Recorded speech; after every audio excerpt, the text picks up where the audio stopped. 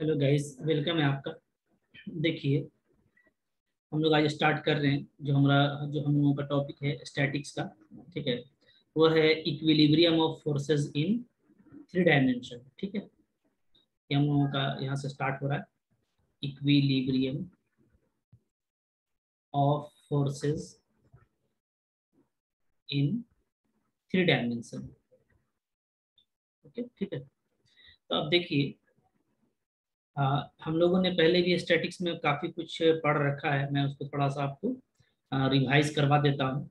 और उसके बाद जो आ, हम लोगों को इस सेमेस्टर में पढ़ना है उस सिलेबस को मैं कंटिन्यू करूँगा ठीक है? तो सबसे पहले ये देखिए कि अगर जैसे कि हमारा स्टैटिक्स का पोर्सन है यानी हम लोग बॉडी को इक्विलिब्रियम में स्टैटिक रहने के लिए जो भी कंडीशन होगा और उससे जो रिलेटेड जो भी हमारे इश्यूज़ होंगे, हम उनको पढ़ने वाले हैं। ठीक है?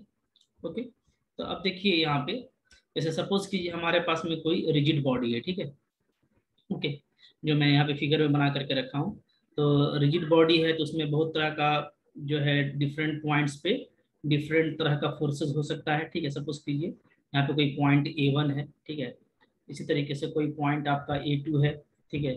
कहीं पे कोई पॉइंट आपका ए थ्री है और यहाँ पे एक जनरल पॉइंट मैं लेके लेके रखा हूँ ए आर ओके तो ए आर मेरा कोई पॉइंट है जिसपे सपोज़ कीजिए जो फोर्स अप्लाई हो रहा है वो है एफ़ आर ठीक है? ओके तो अब देखिए ये जो फोर्स हमारा एफ़ आर है आ, तो पहले हम इसका पोजीशन वेक्टर ले, ले लेते हैं पॉइंट ए आर का। सपोज़ करते हैं जो ओरिजिन है वहाँ से पोजीशन वेक्टर इसका क्या है? स्मॉल ए आर ठीक है? ये इसका पोजीशन वेक्टर है ओके तो ये जो एफ़ आर है, ये मेरा इक्विवेलेंट हो सकता है दो फोर्स के, ठीक है? मैं ओरिजिन पे इसको ऐसे लिख सकता हूँ, ऊपर में एफ़ आर ठीक है? और नीचे में माइनस एफ़ आर ठीक है? ऐसा करने से क्या होगा कि ये दोनों आपस में जो है बैलेंस हो जाएँगे, जो कि अपोजिट साइड में है, ठीक है? तो बैलेंस हो जाएगा तो फिर नेट फोर्स ओरिजिन पे कुछ बचेगा नहीं। तो मैं जो है इस एफ़ आर के करस्पॉन्डिंग में एफ़ आर और माइनस एफ़ आर यहाँ पे लिख सकता हूँ। ठीक है, इससे कोई फ़र्क नहीं पड़ेगा। ओके लेकिन आप ये देखेंगे कि यहाँ पे फिर क्या हो जाएगा? जब हम लोग इन दोनों फोर्स को देखेंगे, ये एफ़ आर ठीक है, और इस एफ़ आर को तो हम लोग पाएँगे कि ये दोनों क्या है? एंटी पैरेलल फोर्सेस है। यानी दोनों का मैग्नीट्यूड सेम है एफ़ आर एफ़ आर ठीक है? लेकिन दोनों अपोजिट डायरेक्शन में है। तो इस तरह का जो पैरेलल फोर्सेस होता है एंटी पैरेलल फोर्सेस ठीक है, वो क्या बनाता है? वो बनाता है कपल, ठीक है? जिसको हम लोग मोमेंट ऑफ़ कपल जिससे हम लोग moment of couple find out करते हैं, ठीक है? तो ये जो है आपका, ये कपल देगा, ओके? तो हर एक जो सिंगल फोर्स है एफ़ आर हम कह सकते हैं कि वो क्या है? वो इक्विवेलेंट है एक फोर्स एफ़ आर के, ठीक है? जो ओ पे अप्लाई हो रहा है, देख रहे हैं, ऊपर की तरफ़, ठीक है? और क्या है? एक कपल के इक्विवेलेंट है, ठीक है? जिसका मोमेंट क्या होगा? तो मोमेंट ऑफ़ कपल मैंने आपको बताया था कि मोमेंट ऑफ़ कपल क्या होता है ठीक है? तो आपको याद होगा मोमेंट ऑफ़ कपल हम लोग इस तरीके से लेते हैं जी इज़ इक्वल टू ठीक है? आ, जो एंटी पैरेलल फोर्सेस है उसमें किसी एक को एक मैग्नीट्यूड को ले लेते हैं और जो परपेंडिकुलर डिस्टेंस है जैसे यहाँ पे ए आर है तो फॉर्मूला क्या हो जाएगा? A R cross F R ठीक है? ये जो होता है हमारा क्या होता है? मोमेंट ऑफ़ कपल होता है। मूवमेंट ऑफ़ कपल, ठीक है? ये सब आप लोगों ने पहले पढ़ा हुआ है, ओके? तो यहाँ पे जो कुछ रिज़ल्ट वगैरह है, वो मैं लिख देता हूँ, ठीक है? जैसे सबसे पहले नंबर वन नंबर वन क्या होगा, ठीक है? कोई भी फोर्स है आपका, जैसे यहाँ पे मैंने लिखा है फोर्स एफ़ आर ठीक है? जो आपका एक्ट होता है acting at point A R जो मेरा पॉइंट ए आर पे अप्लाई हो रहा है, ठीक है? Of rigid body of a rigid body is equivalent to is equivalent to uh, an force ठीक है? एन इक्वल फोर्स लिख देता हूँ an equal force F R एक तो ये एफ़ आर आपको दे रहा है ठीक है? एट ओ ऑरिजिन पे आपको एक एक एफ़ आर मिल रहा है ठीक है? इस तरफ़ आप जो देख रहे हैं डायरेक्शन में और आपको क्या मिल रहा है? Together with together with a couple of moment a couple of movement okay A R cross F R ठीक है तो पहले ये रिज़ल्ट आपको याद रखना है। क्या मैंने बताया कि कोई भी फोर्स एफ़ आर जो होता है, कोई भी सिंगल फोर्स जो एफ़ आर है, ठीक है, जो यहाँ पे ए आर पे अप्लाई हो रहा था तो वो इक्विवेलेंट होता है दो फोर्स के। एक तो वो एफ़ आर जो उसके सेम डायरेक्शन में ऊपर की तरफ़ लगा हुआ है एट पॉइंट ओ ठीक है? और दूसरा एक कपल देगा जो अपोजिट डायरेक्शन में फोर्स है, ये और ये मिल करके ठीक है? तो इसका मोमेंट होता है क्या? ए आर एफ़ आर ठीक है? पहले आपको ये अच्छे से समझ लेना है। इसी तरीके से अगर different point A one A two A three पे अगर F one F two F three force apply होता है, ठीक है? तो हम लोग क्या कह सकते हैं? हम लोग कह सकते हैं कि जो फोर्सेज होगा F one F two F three ठीक है? Acting at A one A two dot dot dot of body ठीक है? जिसका पोजिशन वेक्टर आप A one A two A N ले सकते हैं स्मॉल में। तो वो क्या होगा? वो इक्विवेलेंट होगा। Uh, एक फोर्स का जो ओरिजिन पे अप्लाई होगा ठीक है? ये जो भी पॉइंट आप चूज़ करते हैं। असल में ये चूज़ पॉइंट ठीक है? ये जो पॉइंट है ये पॉइंट हम लोग अपने से सिलेक्ट करते हैं तो इसको बेस पॉइंट कहा जाता है ठीक है ना?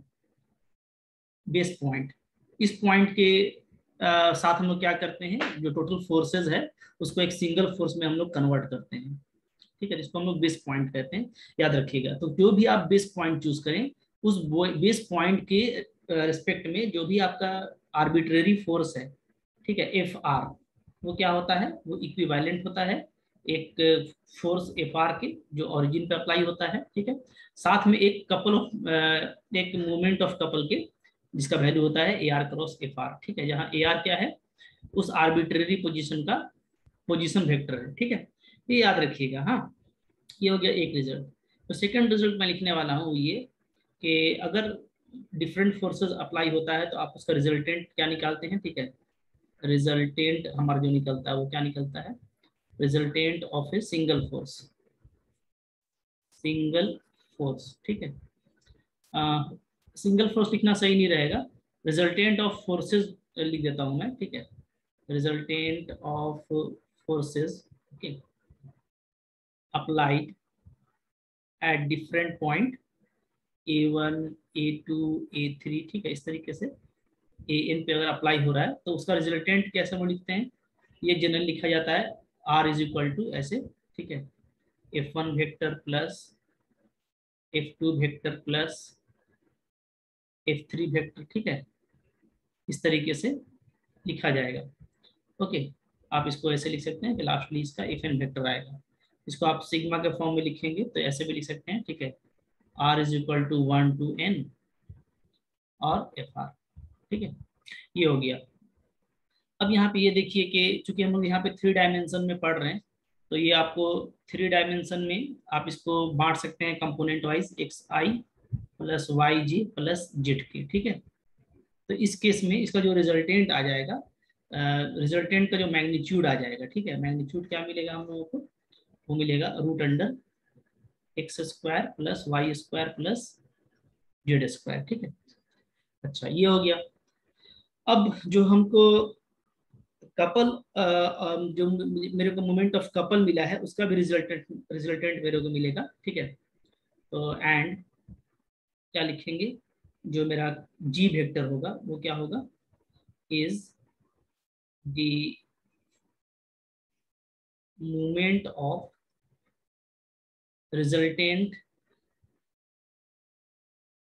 resultant couple of N forces. या एन कपल्स लिख देता हूँ एन कपल्स ठीक है? तो it is resultant couple of n couples ठीक है?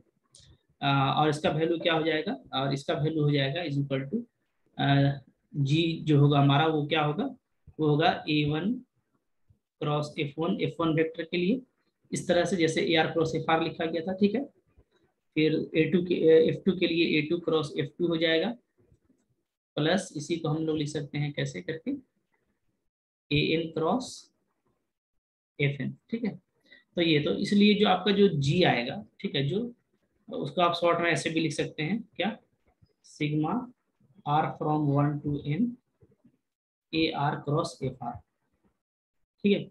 ये सब रिज़ल्ट है जो आप पहले भी, पहले से भी आप जानते हैं बट एक बार आप रिवाइज कर लीजिए ताकि जो यहाँ पर जो हम लोगों का कंटेंट हम लोगों को देखना है, ठीक है? वो हम लोगों को कोई दिक्कत ना हो उसको देखने में, ठीक है? ये दो बातें हो गई। इसके बाद देखें कि हम लोग ये देख रहे हैं जब रिजल्टेंट हम लोग निकालते हैं ना ये जो रिजल्टेंट हमारा फाइंड आउट होता है ये, ठीक है?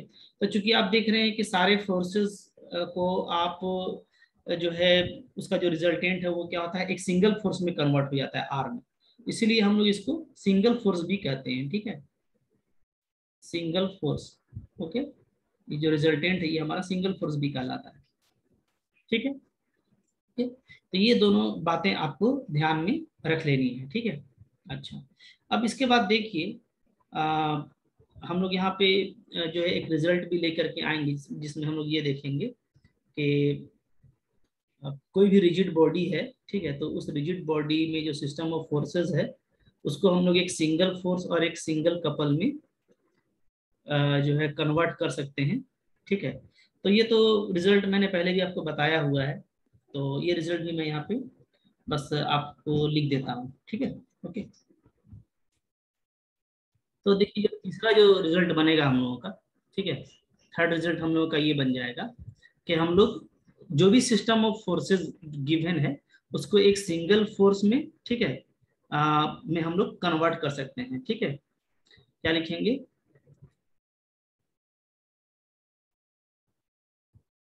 Given system of forces system of forces ठीक है?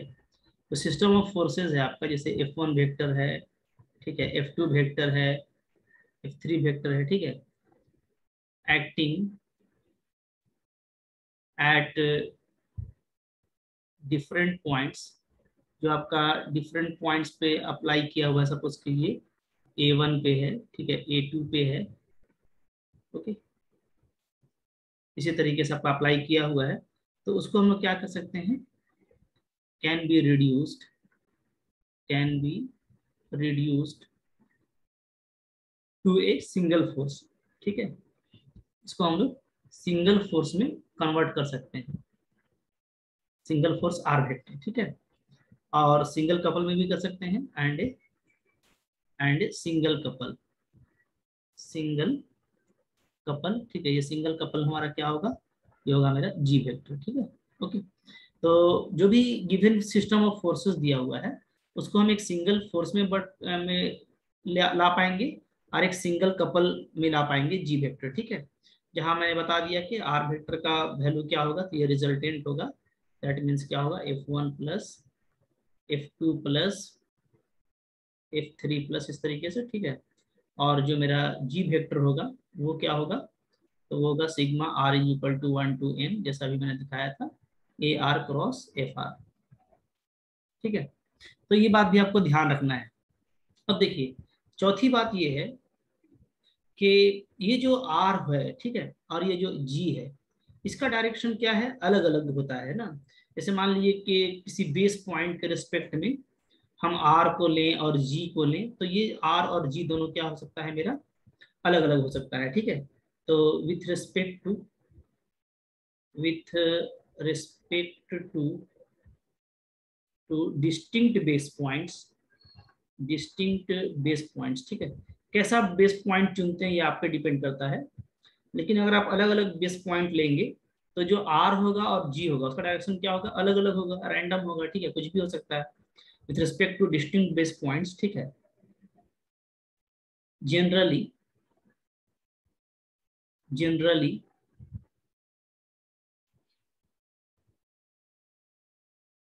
generally direction of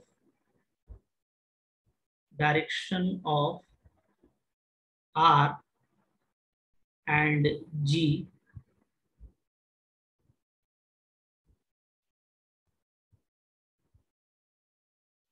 are distinct ठीक है मतलब कुछ भी हो सकता है आ, कोई भी रैंडम डायरेक्शन हो सकता है डिस्टिंग बेस पॉइंट के साथ, ठीक है?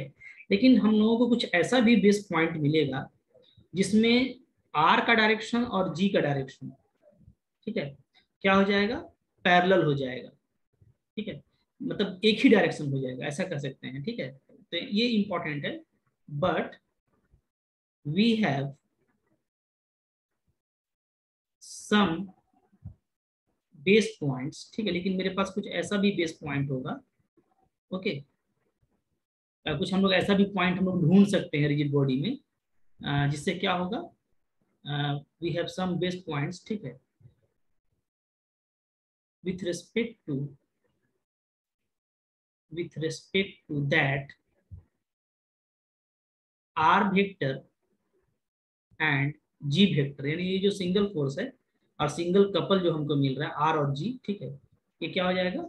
ये हो जाएगा आपका बिकम पैरेलल कहिए या कहिए इन सेम डायरेक्शन और इन सेम डायरेक्शन ठीक है? सेम डायरेक्शन तो हम लोग को ये ढूंढना पड़ेगा, ठीक है? अगर आप ढूंढेंगे तो आप बिल्कुल पाएँगे कि आपको कुछ ऐसा पॉइंट्स एग्जिस्ट करता है रिजिड बॉडी में, ठीक है? जिसको अगर बेस पॉइंट बनाया जाए तो उस बेस पॉइंट के रिस्पेक्ट में आपका जो आर है और जी है, वो क्या हो जाएगा? वो आपका पैरेलल हो जाएगा, ठीक है? अगर ऐसा हो जाता है कि आपका आर और जी क्या है? पैरेलल हो गया है, ठीक है?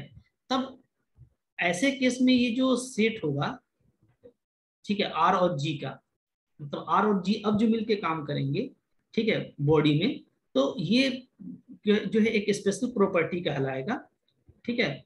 क्या कहलाएँगे? इसको हम लोग कहेंगे रेंज ठीक है? यही हम लोगों का रेंज कहलाता है। अगर ये दोनों एक ही डायरेक्शन में हो जाए।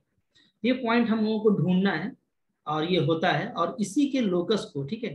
ये जो बेस पॉइंट्स है इसी के लोकस को हम लोग क्या बोलते हैं?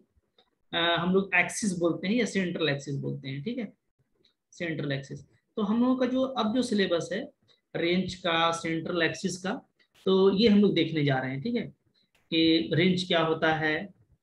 पिच क्या बोलेंगे, पिच किसको बोलेंगे, ठीक है, फिर सेंट्रल एक्सिस का डेफिनेशन क्या होगा? तो यहाँ से आपके लिए अब इम्पोर्टेंट बातें शुरू हो रही हैं। तो ये जो नोट्स मैंने ऊपर आपको लिखाया है, ये हम लोग पहले भी डिस्कस कर चुके हैं बट हम लोग अब वन बाई वन यहाँ से, ठीक है डिटेल में डेफिनेशन वगैरह को डिस्कस करेंगे, ठीक है?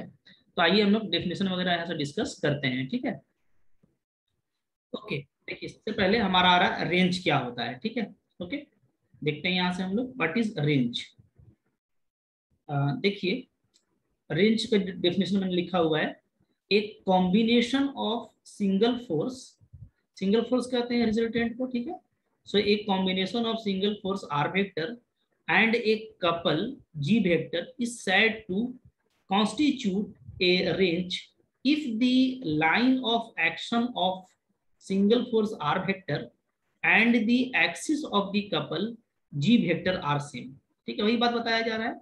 कि जो आर वेक्टर है, ठीक है, और जो जी वेक्टर है, अगर इसका लाइन ऑफ़ एक्शन यानी जिस तरफ़ ये अप्लाई है, इसका लाइन ऑफ़ एक्शन और इसका एक्सिस ऑफ़ कपल ठीक है, यानी जिसके अबाउट में ये अप्लाई हो रहा है, अगर ये दोनों डायरेक्शन अगर आपका सेम हो गया, ठीक है तो फिर ये जो कॉम्बिनेशन है, ये क्या कहलाता है? एक रेंज कहलाएगा, ठीक है तो दैट इज़ क्या? That is if the R vector and G vector are parallel clear है? तो ये डेफिनेशन आप याद कर लीजिए। एक्सिस ऑफ़ रेंज क्या होगा? ठीक है? देखिए in case of range range की जब बात करते हैं रेंज को हम लोग ऐसे लिखेंगे। R vector and G vector का। ठीक है? इस तरह से बना लेंगे हम लोग ग्रुप चूँकि अब ये सेम डायरेक्शन में है। द कॉमन लाइन ज़ाहिर सी बात है कि दोनों का डायरेक्शन सेम है तो अब जो लाइन ऑफ़ एक्शन है, वो कॉमन लाइन कहलाएगा। ठीक है? Common line of line of the common line of action of single force R vector and the axis of couple G vector is called the axis of range ठीक है? Simple सी बात है। यानी आप जैसे कोई एक जैसे मान लीजिए कि ये मेरा जो है, ठीक है, क्या है? रिजल्टेंट वेक्टर का डायरेक्शन है, ठीक है? तो ज़ाहिर सी बात है कि जी अगर पैरेलल है, जिसका मतलब है कि जी भी इसी डायरेक्शन में काम कर रहा है समवेयर मान लीजिए यहाँ पे मेरा काम कर रहा है, ठीक है? ये मेरा कपल ऑफ़ मूवमेंट है G resultant couple of movement है जी ठीक है? तो चूँकि दोनों का डायरेक्शन सेम है ओके तो इसलिए जो लाइन ऑफ़ एक्शन जो जो हम लोग का जो डायरेक्शन बनेगा, अगर हम लेना चाहेंगे तो क्या बनेगा? कॉमन बनेगा, ठीक है? तो जब हम लोगों का कॉमन लाइन बनेगा तो उस कॉमन लाइन को हम लोग क्या लेंगे? उस कॉमन ये जो हम लोग का जो कॉमन डायरेक्शन आ गया दोनों का, एक ही है। तो इसी कॉमन लाइन को हम लोग क्या बोलेंगे? एक्सिस ऑफ़ रेंज बोलेंगे, ठीक है? कि यह रेंज का एक्सिस है। ठीक है ओके चलिए आगे बढ़ते हैं। Intensity of range in case of range ठीक है रेंज के केस में यही रेंज है हमारा आर और जी एक साथ आ गया। The magnitude of R vector यानी सिंपली आर वेक्टर का जो मैग्नीट्यूड है, उसको हम लोग क्या बोलते हैं? इंटेंसिटी बोलते हैं, ठीक है? इसको भी आप लिख लीजिए। डेफिनेशन आपके लिए इंपॉर्टेंट है, याद रखिएगा डेफिनेशन एग्ज़ाम में आता है, ठीक है? ओके नेक्स्ट है, देखिए पिच ऑफ़ रेंज पिच क्या होता है, ठीक है? आइए हम लोग पिच देखते हैं कि हम, हमारा पिच क्या होता है, ठीक है? ओके देखिए पिच क्या है? आइए। Since in case of range range के केस में क्या है? R is parallel to G R हमारा जी के पैरेलल आ जाता है, ठीक है? So we can write G vector is equal to P R vector है ना? आपको पता है? आप पहले पढ़ चुके हैं कि अगर दो वेक्टर ए और बी आपस में पैरेलल है तो क्या रिलेशन होता है? ए इज़ इक्वल टू कोई एक स्केलर ले लेते हैं हम लोग। कोई भी एक स्केलर लगा लेते हैं, ठीक है पी और बी वेक्टर हम इसको ऐसे राइट कर सकते हैं, ठीक है? ओके तो यहाँ पे वही रिज़ल्ट लगेगा, क्योंकि आर और जी आपका पैरेलल है so we can write G is equal to P R for some scalar P ठीक है? This P is called pitch इसी पी को हम लोग क्या बोलेंगे? पिच ऑफ़ रेंज बोलेंगे, ठीक है? तो सिंपल सिंपल डेफिनेशन है, इसको आप याद कर लीजिए। क्लियर है? ठीक है? आइए, आगे चलते हैं। फिर देखिए नेक्स्ट है हमारा सेंट्रल एक्सिस या तो पॉइंट सोर्स सेंट्रल एक्सिस ठीक है? क्या होता है ये? देखिए central axis is the straight line एक स्ट्रेट लाइन है, ठीक है? Which is the locus of points regarding which system of forces reduces to a range ठीक है? मैंने आपको बताया कि जो बेस पॉइंट है, जिसके रेस्पेक्ट में आर और जी पैरेलल हो जा रहा है तो उन बेस पॉइंट्स के लोकस को क्या कहेंगे हम लोग? सेंट्रल एक्सिस कहेंगे, ठीक है? तो यहाँ पे वही बात लिखा गया है कि एक स्ट्रेथ लाइन है, जो लोकस है किसके उन पॉइंट्स के यानी क्या, यानी बेस पॉइंट्स के आप यहाँ पे बेस पॉइंट्स भी लिख सकते हैं, ठीक है? Okay regarding which system of forces reduces to a range range का मतलब क्या? कि जहाँ पे आर और जी आपका क्या हो जा रहा है? एक ही डायरेक्शन में आ जा रहा है। ठीक है? ओके तो ये डेफिनेशन आई होप आई आपको क्लियर हो गया है, ठीक है?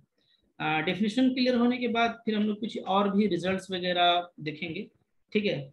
uh, इसके बाद उसको मैं नेक्स्ट वीडियो में आपके साथ कंटिन्यू करता हूँ ठीक है? Thank you for watching